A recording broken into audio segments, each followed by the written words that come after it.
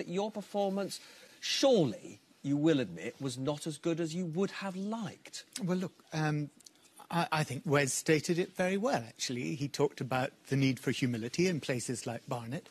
Um, let's, let's face it, we won 2,350 council seats. Mm. The Conservatives won 1,232 council seats.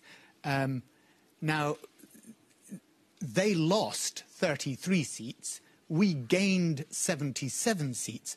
Would I have liked to have done better? You bet. What we're seeing is the way in which politics has been reshaped over the past few years with Brexit.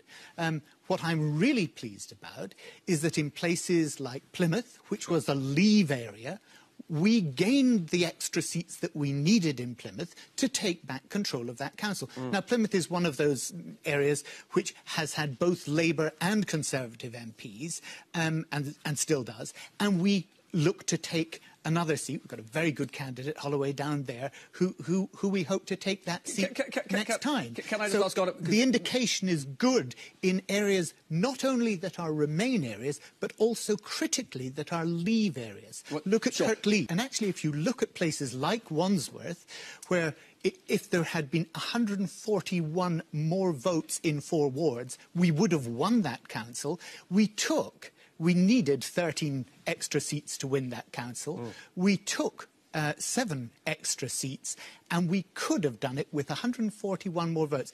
How extraordinary that a Prime Minister goes running to Wandsworth to say, Congratulations, guys, you've been wonderful. You only lost seven seats to the Labour Party.